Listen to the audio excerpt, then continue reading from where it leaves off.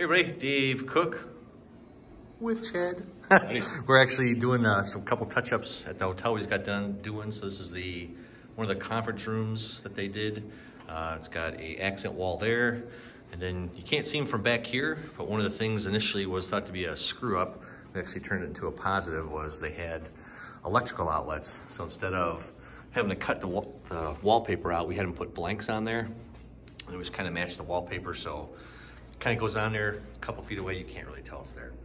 Um, the other thing that we did in this hotel, which not a lot of places do, is custom corner guards.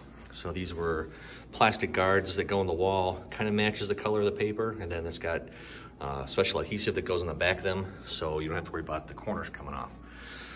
Uh, so there's a small example of some of the commercial wallpaper we can hang for you in your house or business.